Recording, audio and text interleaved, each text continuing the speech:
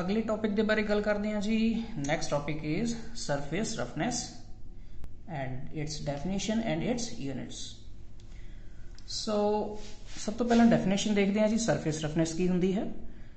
ਕਿਸੇ ਵੀ ਸਰਫੇਸ ਦੀਆਂ ਕੁਝ ਇਰੈਗੂਲੈਰਿਟੀਜ਼ ਜੋ ਕਿ ਜਿਓਮੈਟ੍ਰੀਕਲ ਡੇਵੀਏਸ਼ਨਸ ਹੋ ਸਕਦੀਆਂ ਨੇ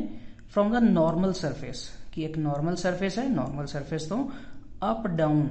ਕਿੰਨਾ ਉੱਬੜ ਖਾਬੜ ਉਸ ਦਾ ਸਰਫੇਸ ਹੈ ਇੱਕ ਮਸ਼ੀਨਡ ਸਰਫੇਸ ਤੋਂ ਬਾਅਦ, ਕੀ ਮਸ਼ੀਨ ਕੀਤਾ ਹੋਇਆ ਕਿਸੇ ਸਰਫੇਸ ਨੂੰ? ਮੇਰੇ ਕੋਲ ਕੋਈ ਜੌਬ ਸੀ ਉਸ ਨੂੰ ਮੈਂ ਪ੍ਰਪੇਅਰ ਕਰ ਲਿਆ ਹੈ। ਪ੍ਰਪੇਅਰ ਕਰਨ ਤੋਂ ਬਾਅਦ, ਇੱਕ ਦਾ ਜੋ ਨੋਮੀਨਲ ਸਰਫੇਸ ਹੈ ਨੋਮੀਨਲ ਸਰਫੇਸ ਤੋਂ ਇਲਾਵਾ ਉਸ ਦੀਆਂ ਜੋ ਇਰੈਗੂਲਰਿਟੀਜ਼ ਹੋਣਗੀਆਂ, ਉਹਨੂੰ ਅਸੀਂ ਸਰਫੇਸ ਰਫਨੈਸ ਕਾਊਂਟ ਕਰਦੇ ਹਾਂ। ਨੈਕਸਟ ਹੈ ਜੀ, that is units of surface roughness ਤੋ ਜਿਹੜੀਆਂ ਯੂਨਿਟਸ ਨੇ that ਇਜ਼ ਸਾਨੂੰ ਪਤਾ ਹੈ ਕਿ 1 micron is equals to 10 raised to power 3 mm. ਕਿ 1 ਮਾਈਕਰੋਨ ਜੋ ਹੈ ਉਹ 1 mm ਦਾ ਹਜ਼ਾਰਵਾਂ ਹਿੱਸਾ ਹੁੰਦਾ ਹੈ ਤਾਂ ਇਸੇ ਤਰੀਕੇ ਨਾਲ ਹੀ 1 ਮੀਟਰ ਦਾ ਮਤਲਬ 10 ਰੇਜ਼ ਟੂ ਪਾਵਰ 6ਵਾਂ ਹਿੱਸਾ ਜੋ ਹੈ ਉਹਨੂੰ ਅਸੀਂ ਕਾਊਂਟ ਕਰਦੇ ਹਾਂ ਯੂਨਿਟਸ ਆਫ ਰਫਨੈਸ ਨੈਕਸਟ ਸਾਡੇ ਕੋਲ ਕੁਝ ਟਰਮੀਨੋਲੋਜੀਜ਼ ਨੇ, ਜੋ ਕਿ ਰਿਪਰੈਜ਼ੈਂਟ ਕਰ ਰਹੀਆਂ ਨੇ ਇੱਕ ਡਾਇਗਰਾਮ ਦੇ ਥਰੂ ਕਿ ਸਾਡੇ ਕੋਲ ਅਲੱਗ-ਅਲੱਗ ਜੋ ਟਰਮਸ ਨੇ, ਜੋ ਰਫਨੈਸ ਨੂੰ ਕਾਊਂਟ ਕਰਨ ਦੇ ਲਈ ਯੂਜ਼ ਹੁੰਦੀਆਂ ਨੇ, ਉਹ ਕੀ ਕੀ ਹੋ ਸਕਦੀਆਂ ਨੇ, ਜਿਹਦੇ ਵਿੱਚ ਸਭ ਤੋਂ ਪਹਿਲਾਂ ਅਸੀਂ ਗੱਲ ਕਰਾਂਗੇ, that is ਸਰਫੇਸ ਕਿਸੇ ਕਿਸੇ ਵੀ ਸਰਫੇਸ ਨੂੰ ਅਸੀਂ ਸਰਫੇਸ ਕਿਵੇਂ ਕਹਿੰਦੇ ਹਾਂ ਜਾਂ ਸਰਫੇਸ ਕਿਸ ਨੂੰ ਕਿਹਾ ਜਾਂਦਾ ਹੈ? ਕਿਸੇ ਵੀ ਬਾਉਂਡਰੀ ਦੁਆਰਾ ਘੇਰੇ ਗਏ ਸਰਫੇਸ ਨੂੰ ਅਸੀਂ ਸਰਫੇਸ ਕਹਿੰਦੇ ਹਾਂ, ਜੋ ਕਿ ਕਿਸੇ ਵੀ ਮੇਨ ਕਿਸੇ ਬਾਡੀ ਦਾ ਪਾਰਟ ਸੈਪਰੇਟ ਕੀਤਾ ਗਿਆ ਹੁੰਦਾ ਹੈ, ਕਿਸੇ ਬਾਉਂਡਰੀ ਦੇ ਦੁਆਰਾ ਉਸ ਨੂੰ ਅਸੀਂ ਸਰਫੇਸ ਆਖਦੇ ਹਾਂ। ਜਿਵੇਂ ਕਿ ਇਸ ਡਾਇਗਰਾਮ ਦੇ ਵਿੱਚ ਤੁਸੀਂ ਦੇਖਦੇ ਹੋ ਕਿ ਇਹ ਸਾਡੇ ਕੋਲ ਇੱਕ ਕਾਫੀ ਵੱਡਾ ਪੀਸ ਸੀ ਜਿਸ ਨੂੰ ਅਸੀਂ ਇੱਥੋਂ ਕੱਟ ਕਰ ਦਿੱਤਾ ਹੈ ਔਰ ਜੋ ਸਾਡੇ ਕੋਲ ਇਹ ਚੀਜ਼ ਹੁਣ ਕੰਪਲੀਟਲੀ ਸਾਹਮਣੇ ਨਜ਼ਰ ਆ ਰਹੀ ਹੈ ਇਹ ਸਾਡਾ ਹੁਣ ਸਰਫੇਸ ਕਹਿਲਾਏਗੀ। ਇਸ ਤੋਂ ਨੈਕਸਟ ਸਾਡੇ ਕੋਲ ਟਰਮਸ ਆ ਰਹੀਆਂ ਨੇ ਜੀ ਸਾਡੇ ਕੋਲ। ਇਸ ਤੋਂ ਅਗਲੀ ਹੈ, that is actual surface actual surface ਕੀ ਹੋਏਗਾ? It is the surface of the part which is obtained after the manufacturing process ਕਿ ਮੈਨੂਫੈਕਚਰਿੰਗ ਕਰਨ ਤੋਂ ਬਾਅਦ ਇੱਕ ਸੀ ਸਾਡੇ ਕੋਲ raw ਮਟੀਰੀਅਲ raw ਮਟੀਰੀਅਲ ਜਦੋਂ ਸੀ ਉਦੋਂ ਉਹਦਾ ਐਗਜ਼ੈਕਟ ਸਰਫੇਸ ਸੀਗਾ। ਸਰਫੇਸ ਉਸ ਨੂੰ ਜਦੋਂ ਅਸੀਂ ਮਸ਼ੀਨ ਕਰ ਦਿੱਤਾ ਮਸ਼ੀਨਿੰਗ ਕਰਨ ਤੋਂ ਬਾਅਦ ਜੋ ਸਾਡੇ ਕੋਲ ਸਾਹਮਣੇ ਆਇਆ, ਉਸ ਸਰਫੇਸ ਨੂੰ ਅਸੀਂ ਐਕਚੁਅਲ ਸਰਫੇਸ ਕਵਾਂਗੇ। ਨੈਕਸਟ ਟਰਮ ਹੈ ਜੀ nominal surface nominal surface actual ਦੇ ਵਿੱਚ ਕਦੇ ਵੀ ਨਹੀਂ ਹੁੰਦਾ। ਇਸ ਨੂੰ ਕਿਹਾ ਜਾਂਦਾ ਹੈ ਕੁਝ ਡੈਫੀਨੇਸ਼ਨ ਇਸ ਤਰ੍ਹਾਂ ਹੈ। It is the theoretical geometrically perfect surface which is impossible in practice, but it is an average of irregularities superimposed on it. ਕਿ ਐਕਚੁਅਲ ਦੇ ਵਿੱਚ ਇਸ ਚੀਜ਼ ਨੂੰ ਅਸੀਂ ਨਹੀਂ ਗਿਣਤੀ ਮਿਣਤੀ ਦੇ ਵਿੱਚ ਲਿਆ ਸਕਦੇ, ਪਰ ਇਸ ਨੂੰ ਅਸੀਂ ਕਾਊਂਟ ਕਰ ਸਕਦੇ ਹਾਂ ਕਿ ਜਿੰਨੀਆਂ ਵੀ ਰੈਗੂਲਰ ਇਰੈਗੂਲਰਿਟੀਜ਼ ਨੇ ਕਿਸੇ ਵੀ ਸਰਫੇਸ ਦੇ ਉੱਤੇ, ਅਗਰ ਉਹਨਾਂ ਦਾ ਅਸੀਂ ਐਵਰੇਜ ਲੈ ਲਈਏ, ਤਾਂ ਉਸ ਨੂੰ ਅਸੀਂ ਨੋਮੀਨਲ ਸਰਫੇਸ ਕਾਊਂਟ ਕਰ ਸਕਦੇ ਹਾਂ Next is profile. It is defined as the contour of a section through a surface. ਕਿਸੇ ਵੀ ਸਰਫੇਸ ਦੀ ਸ਼ੇਪ ਕਿਸ ਤਰ੍ਹਾਂ ਦੀ ਬਣੀ ਹੋਈ ਹੈ ਉਸ ਨੂੰ ਅਸੀਂ ਪ੍ਰੋਫਾਈਲ ਆਖਦੇ ਹਾਂ। Next is effective profile it is the real contour of the surface measured by using an instrument. ਕਿਸੇ ਇਨਸਟਰੂਮੈਂਟ ਮਾਈਰਿੰਗ ਇਨਸਟਰੂਮੈਂਟ ਨੂੰ ਯੂਜ਼ ਕਰਕੇ ਜੋ ਅਸੀਂ ਰੀਅਲ ਕੰਟੂਰ ਨੂੰ ਮੇਜ਼ਰ ਕੀਤਾ ਹੈ, ਜੋ ਐਕਚੁਅਲ ਨੂੰ ਅਸੀਂ ਮੇਜ਼ਰ ਕੀਤਾ ਹੈ, ਜਿਵੇਂ ਕਿ ਇਸ ਦਿੱਤੇ ਗਏ ਡਾਇਗਰਾਮ ਦੇ ਵਿੱਚ ਅਗਰ ਅਸੀਂ ਇਸ ਮਟੀਰੀਅਲ ਦੀ ਥਿਕਨੈਸ ਮੇਜ਼ਰ ਕਰ ਲਈਏ ਜਾਂ ਇਸ ਦੀ ਵਿਡਥ ਮੇਜ਼ਰ ਕਰ ਲਈਏ ਜਾਂ ਇਸ ਦਾ ਅਪਰ ਸਰਫੇਸ ਦਾ ਜੋ ਲੈਵਲਿੰਗ ਹੈ ਉਸ ਨੂੰ ਸਰਫੇਸ ਦੀ ਫਲੈਟਨੈਸ ਜਿਹਨੂੰ ਕਿਹਾ ਜਾਂਦਾ ਹੈ ਉਸ ਨੂੰ ਚੈੱਕ ਕਰ ਲਈਏ, ਉਹ ਸਾਡੇ ਕੋਲ ਕਹਿਲਾਏਗੀ that is effective profile next ਹੈ ਜੀ that is roughness it refers to finely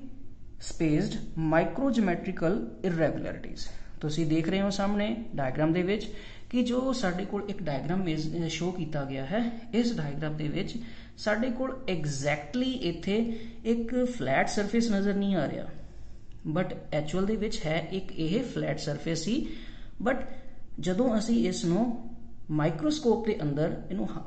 maximize ਕਰਕੇ ਦੇਖਿਆ ਐਨਲਾਰਜ ਕਰਕੇ ਦੇਖਿਆ, ਤਾਂ ਸਾਡੇ ਕੋਲ ਕੁਝ ਇਰੈਗੂਲਰਿਟੀਜ਼ ਇਸ ਤਰੀਕੇ ਦੇ ਨਾਲ ਨਜ਼ਰ ਆਈਆਂ। ਸੋ ਇਸ ਜਗ੍ਹਾ ਤੇ ਜੋ ਇਹ ਇਰੈਗੂਲਰਿਟੀਜ਼ ਨੇ ਮਾਈਕਰੋਜੀਓਮੈਟ੍ਰੀਕਲ ਇਰੈਗੂਲਰਿਟੀਜ਼ ਨੇ ਅਪ ਡਾਊਨ ਜੋ ਵੇਵੀਨੈਸ ਹੈ ਇਹਦੀ ਇਸ ਨੂੰ ਅਸੀਂ ਕਹਿ ਦਿੰਦੇ ਹਾਂ ਦੈਟ ਇਜ਼ ਰਫਨੈਸ ਨੈਕਸਟ ਹੈ ਜੀ roughness height it is the average deviation in micrometers normal to an imaginary center line passing through the roughness profile. ਜੋ ਸਾਡੀ ਰਫਨੈਸ ਪ੍ਰੋਫਾਈਲ ਹੈ, ਜਿਵੇਂ ਕਿ ਇੱਥੋਂ ਦੀ ਤੁਸੀਂ ਦੇਖ ਰਹੇ ਹੋ ਕਰਵ ਜਾ ਰਹੀ ਹੈ ਅਪ ਡਾਊਨ ਤਾਂ ਇਸ ਕਰਵ ਨੂੰ ਅਗਰ ਮੈਂ ਐਵਰੇਜ ਲੈ ਲਵਾਂ ਤਾਂ ਜੋ ਮੇਰੀ ਐਵਰੇਜ ਆਏਗੀ ਉਹ ਮੇਰੀ ਕਹਿਲਾਏਗੀ ਰਫਨੈਸ ਹਾਈਟ ਨੈਕਸਟ ਹੈ ਜੀ roughness width it is the distance parallel to the normal surface between the successive peaks which constitutes the pattern of the roughness ਤਾਂ ਜਿਵੇਂ ਕਿ ਇਹਦੇ ਵਿੱਚ ਡੈਫੀਨੇਸ਼ਨ ਦੇ ਵਿੱਚ ਦੱਸਿਆ ਗਿਆ ਹੈ ਇਸ ਡਾਇਗਰਾਮ ਦੇ ਵਿੱਚ ਜਿਵੇਂ ਅਸੀਂ ਦੇਖ ਪਾ ਰਹੇ ਹਾਂ ਕਿ ਦੋ ਸਕਸੈਸਿਵ ਰਫਨੈਸ ਵੈਲਿਊਜ਼ ਦੇ ਵਿੱਚ ਸਕਸੈਸਿਵ ਪੈਟਰਨਸ ਦੇ ਵਿੱਚ ਰਫਨੈਸ ਦੇ ਪੈਟਰਨਸ ਦੇ ਵਿੱਚ ਜੋ ਡਿਸਟੈਂਸ ਆ ਰਿਹਾ ਹੈ ਉਸ ਨੂੰ ਅਸੀਂ ਰਫਨੈਸ ਵਿਡਥ ਕਿਹਾ ਹੈ। ਨੈਕਸਟ ਹੈ ਜੀ ਸਾਡੇ ਕੋਲ roughness width cut off it is the maximum width of the surface irregularities which is included in the measurement of the roughness height ਹੁਣ ਜਿਹੜੀ ਅਸੀਂ ਰਫਨੈਸ ਹਾਈਟ ਮੇਜ਼ਰ ਕੀਤੀ ਹੈ ਉਸ ਦੇ ਲਈ ਅਸੀਂ ਕਿੰਨਾ ਸੈਕਸ਼ਨ ਮੰਨ ਕੇ ਚੱਲੇ ਹਾਂ, ਕਿੰਨਾ ਸੈਕਸ਼ਨ ਅਸੀਂ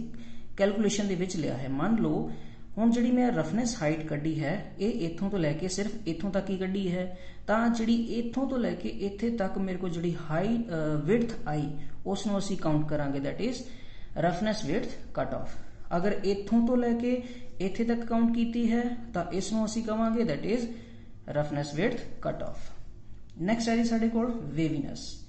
it is of those surface irregularities which having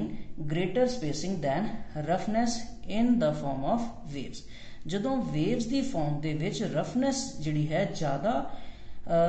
ਵੇਵੀਨੈਸ show ਕਰੇ ਜਦੋਂ irregularities ਦਾ ਜੋ ਸਪੇਸਿੰਗ ਹੈ ਐਂਪਲੀਟਿਊਡ ਹੈ ਉਹ ਜਦੋਂ ਜ਼ਿਆਦਾ ਅਪ ਡਾਊਨ ਜਾਵੇ ਉਸ ਨੂੰ ਅਸੀਂ ਕਾਊਂਟ ਕਰਦੇ ਹਾਂ ਦੈਟ ਇਜ਼ ਵੇਵੀਨੈਸ ਜਿਵੇਂ ਕਿ ਤੁਸੀਂ ਇੱਥੇ ਦੇਖ ਸਕਦੇ ਹੋ